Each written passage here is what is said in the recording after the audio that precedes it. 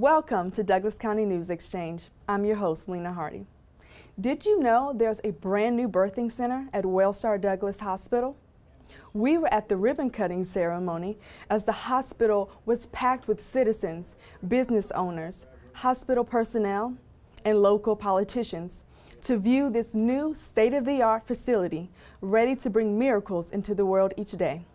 Now mothers in Douglas County can give birth and receive treatment for their newborns in-house. The ribbon has been cut, now the work begins. Congratulations to Wellstar Douglas Hospital on the new addition of the Birthing Center. I hope you're hungry because Taste of Douglasville is happening on May 18th from 11 a.m. to 5 p.m. downtown Douglasville. Here's the CAC's Executive Director, Emily Leitner, with more details on the event.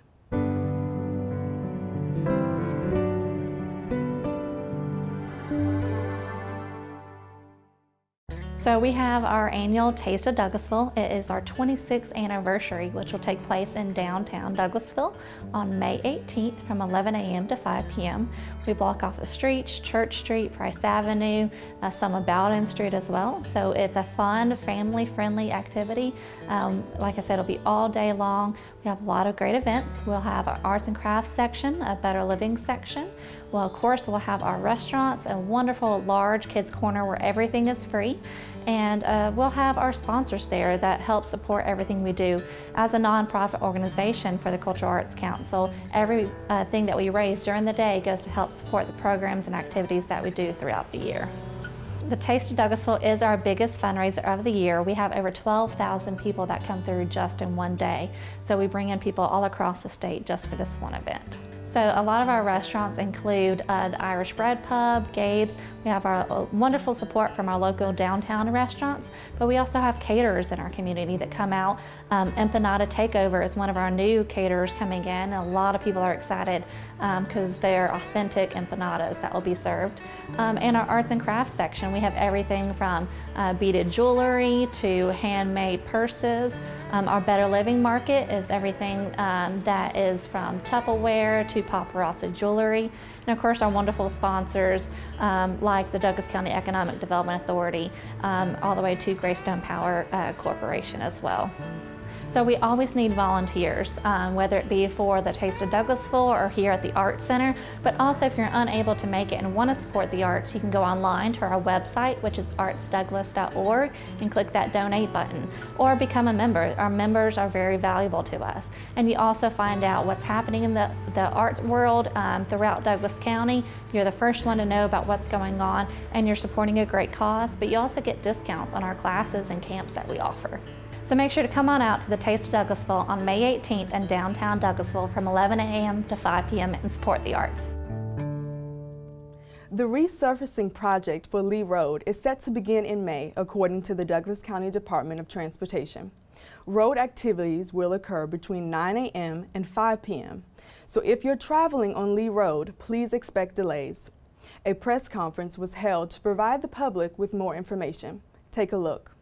We are gathered this morning to celebrate the significance of this resurfacing project. This would not have been possible without the significant contribution of the citizens of Douglas County and the SPLOST dollars, and that I am sincerely appreciative for. And so I'm excited about this road, this two and a half miles. Um, is one of the key corridors here in, in District 2. We've done Fairburn Road, um, has been repaved. Um, Bankhead Highway has been repaved, Thornton Road has been repaved, and Riverside has been repaved. But this is the one key area with 25,000 road miles that we thought was important. This road was uh, targeted for widening and has been. There has been a, a plan to widen the road to four lanes. And for a while, the uh, the discussion was, well, can we get the, the widening project underway soon enough so that uh, we don't have to spend additional dollars to resurface the road because that will take care of it. Uh, but that project had been delayed and has been delayed, so the decision was made by the commissioners to prioritize and go ahead and, and address the road now uh, and, and so that it is rideable and we have time to prep the widening project in the future.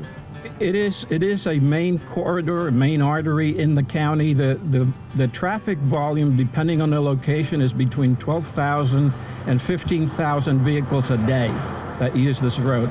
So it is quite heavily traveled. The process will take approximately three weeks, three to four weeks, depending on the weather. It is slated to start in earnest uh, early next week on Monday. Uh, the contractor has already started mobilizing the equipment it is an, a, an inlay and a mill and inlay project. So there's going to be a train of equipment operating on one lane and traffic will be diverted to the other lane to go by. So uh, we urge the public uh, to expect delays and, and, plan accordingly, and if possible, uh, to try and find alternate routes while the work is in progress we do not anticipate any uh, total closures of the road, just temporary lane closures. Um, this is a perfect example of your SPLOST pennies at work, and we'd like to thank the citizens for voting yes in 2016 for the SPLOST, um, which allocated, the board allocated approximately $3 million per year for resurfacing. That's in addition to our normal resurfacing projects. But we'd just like to say thanks to the citizens for voting yes on that.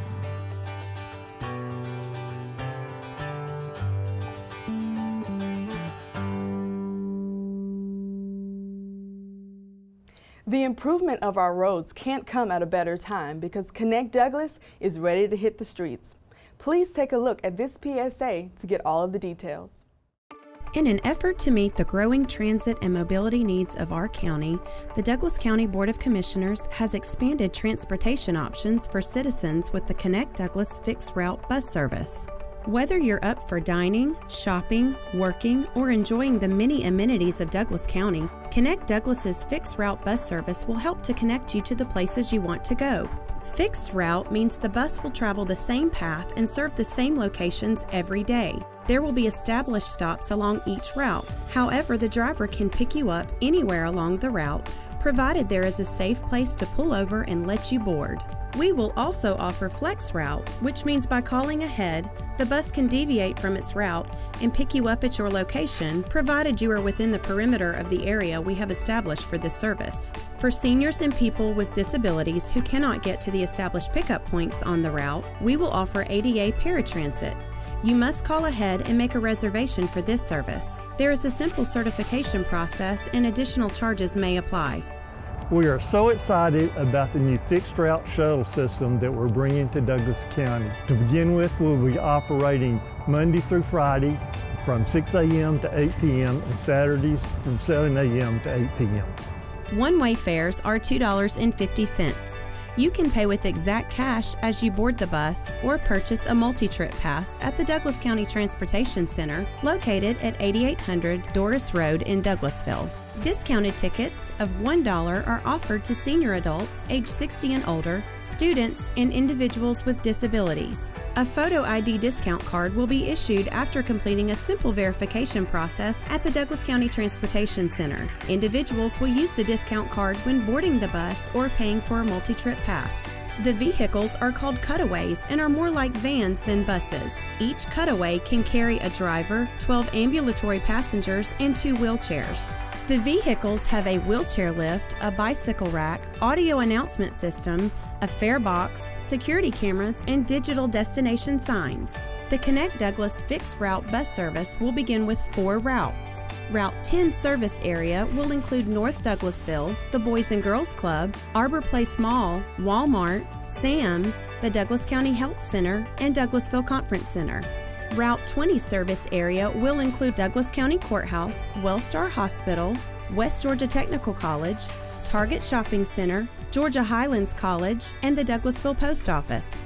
Route 30 will serve Thornton Road Walmart, Cobb West Business Park and Six Flags Industrial Park, Tributary Community and the Employment Hub, including the Amazon Fulfillment Center, West Rock, Medline, and Coloplast.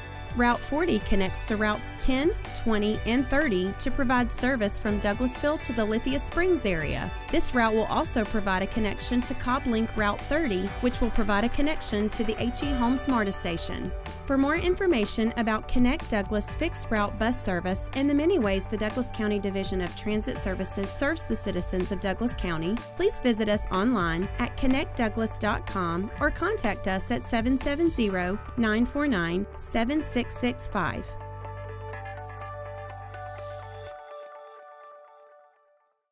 Next time you're on your computer, be sure to Google Douglas County to see how and why Google decided to make our county one of its new homes by bringing a data center to the area.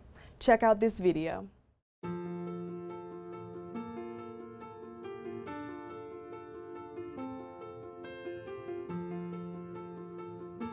This community is a family community. We're very, very caring, and we try to make sure everyone has an opportunity, and Google has taken on that same attitude. Google's such a great community partner. Having them in this community really makes a difference. It sets the bar for other companies when they come in. They have been the anchor for Douglas County. Everything that just kind of flourished and built, uh, worked around Google. It's been a very contagious moment, and I'm excited about what Google has started in Douglas County. We've seen more information technology companies decide to make an investment here. Last year alone, we announced three co-location data centers, and the confidence that they had in the community was driven to a great extent by the presence of Google. Google is a wonderful community neighbor and partner. They do so much for our community and for the school system. Google has provided many grants, all to make our programs better and help us better reach and teach students. For all of us that are involved in technology, we had to at some point in our lives be exposed to it and find out we really loved it. We work really hard to make sure we can bring them into the loop of math or science in a way that doesn't intimidate them and that helps them to realize they may love it. It may be a career for them and they've been very supportive, giving us grants to purchase technology that's needed in the schools and the labs. Students are much more engaged when they're hands on and they're participating in their education. We have a number of students who are functionally nonverbal or even completely nonverbal, and the Google grant has allowed us to buy devices that allow them to communicate. It's just amazing. That's a key in learning is to be able to communicate. Google, as a community partner, has been very active in a number of different areas, whether it's supporting our local Boys and Girls Club, downtown Wi Fi here in Douglasville, advancing efforts to get girls and minorities in STEM, also putting on wonderful events. The Georgia Gravity Games is a huge draw from all across the state. We have the local kids build cars and come race them, and they're all gravity powered. We're trying to get them to understand the math and the physics behind what makes those cars go fast. Georgia Tech comes in, and so it integrates not only the kids in elementary, middle, and high school, but college as well. They're just excited to have their hands on something. They have a chance to work on the car and make it faster. They're super excited to see the end result. They compete like crazy to get that first place. Google is a life changing experience, and they have made a huge difference in Douglas County. We're seeing impact from our small businesses to our, our local governments to our nonprofit associations are benefiting from Google's presence.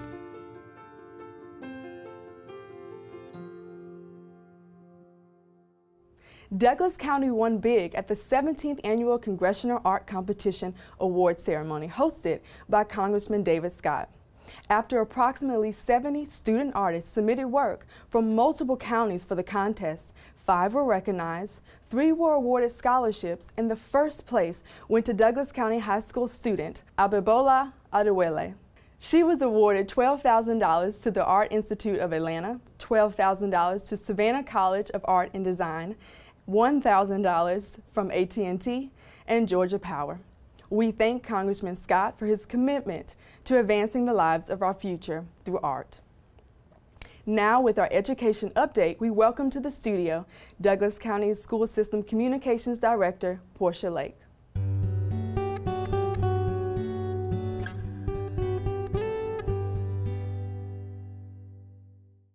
Douglas County student athletes are now chasing championships in the competitive sports craze sweeping the nation known as esports.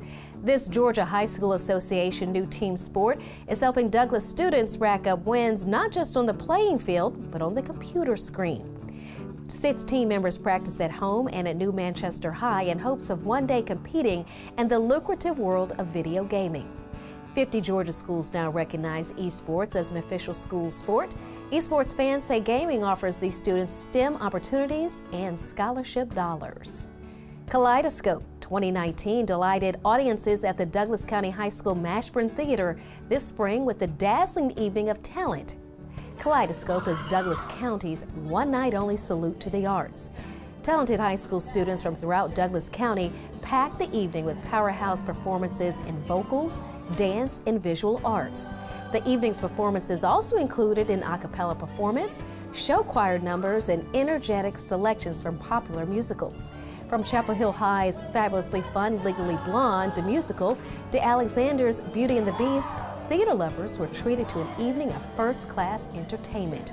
Proceeds benefited the foundation and high school fine arts programs. The Douglas County School System is currently hiring bus drivers.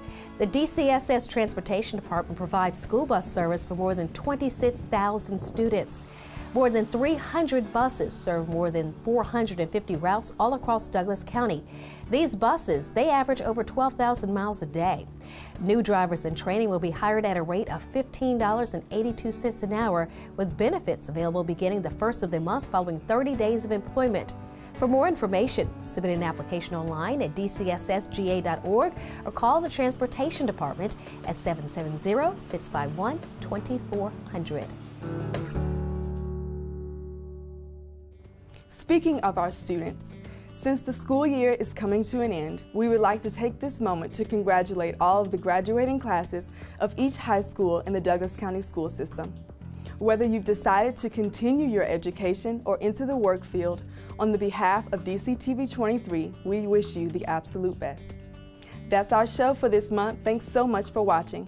Be sure to check out all of our programming on DCTV 23. You can find us on Comcast Channel 23, AT&T UVerse Channel 99, and online at DCTV23.com. We end our show with the monthly birthday celebration for seniors at Woodie Fite. See you next time.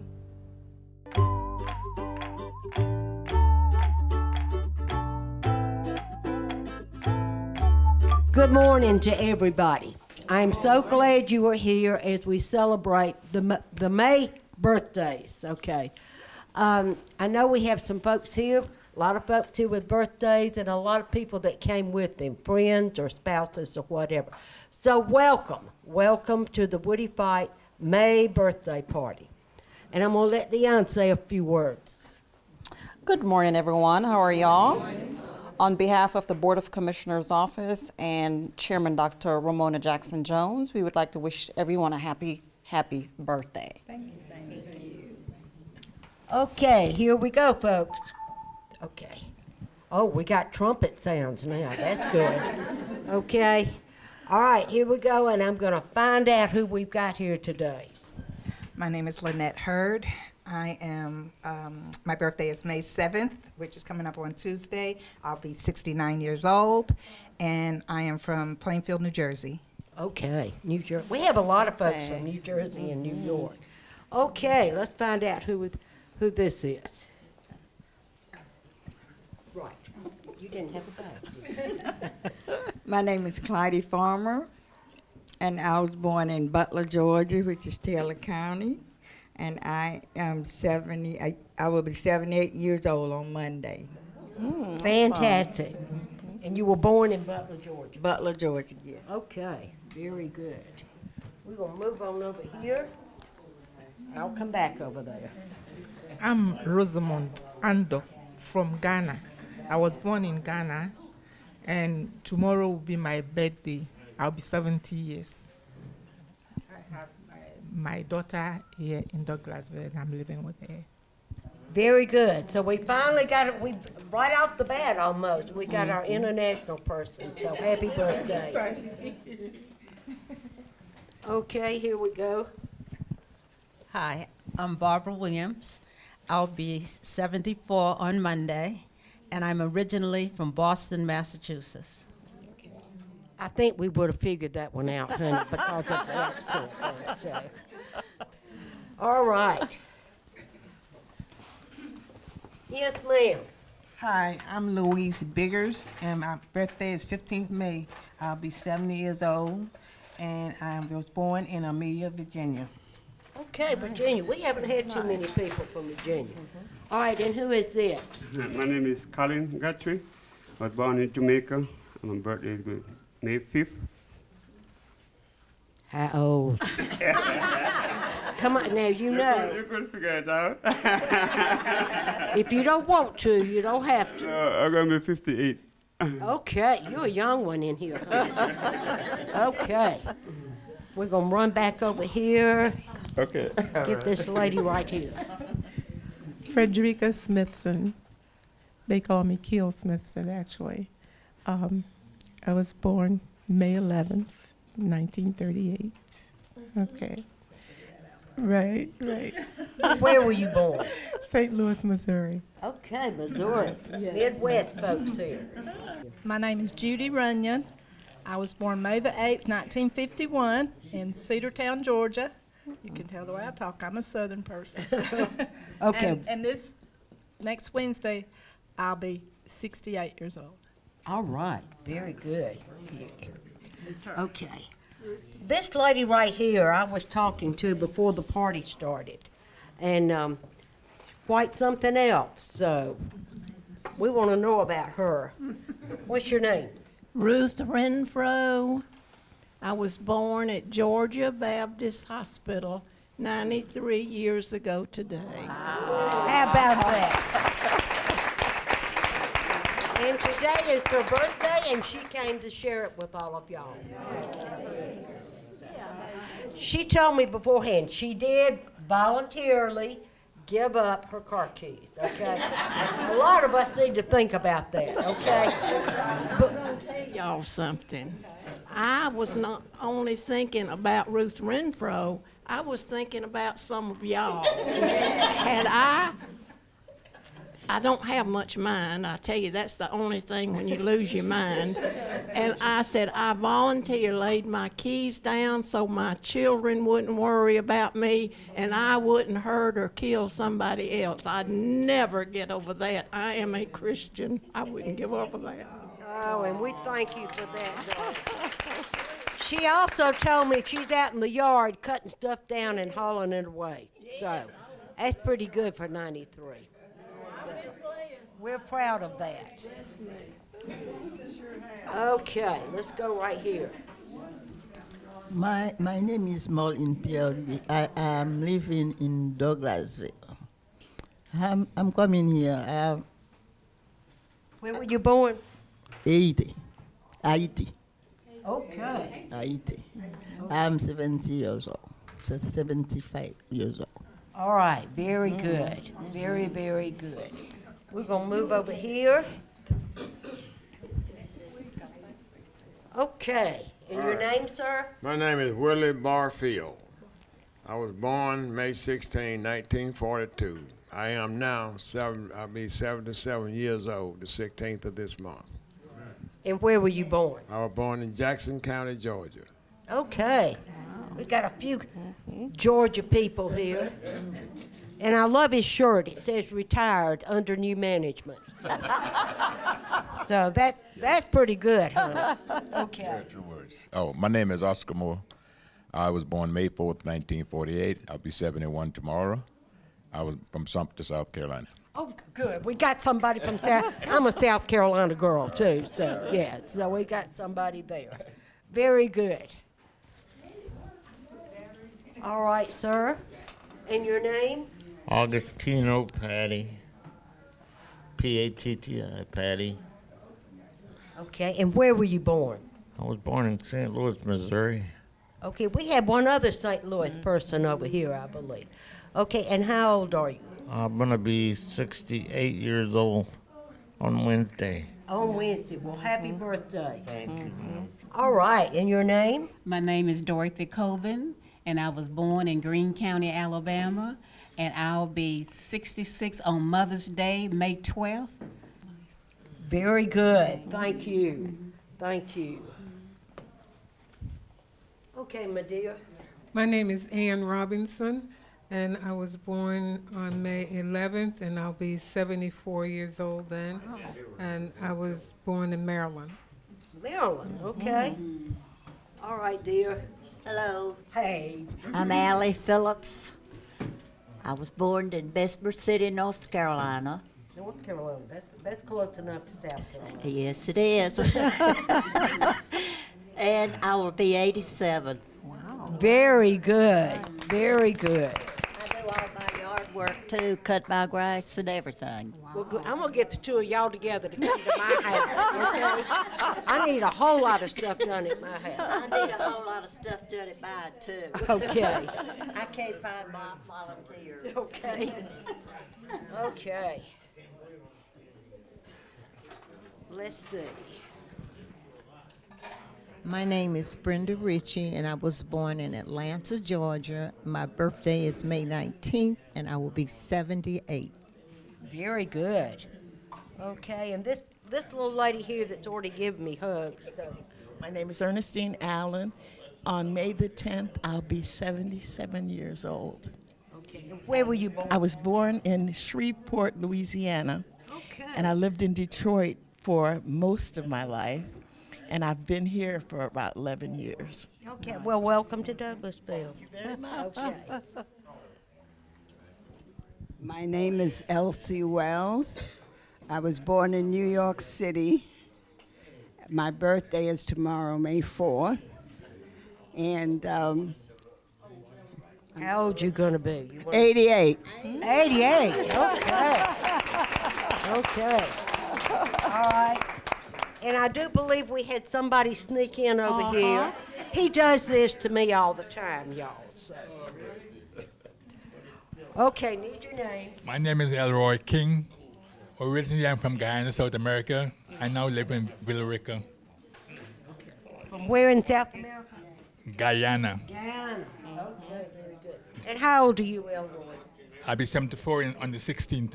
On the 16th, very good. He is a very good pickleball player too. So, okay, if I can hold him down, sometimes he gets a little wound up over there. So, did I miss anybody? Okay, very good. Okay, we got to sing, y'all. You can't have a mm-hmm. birthday unless you sing. So everybody, help me out. Happy birthday to you. Happy birthday to you. Happy birthday, dear Simon. Happy birthday to you.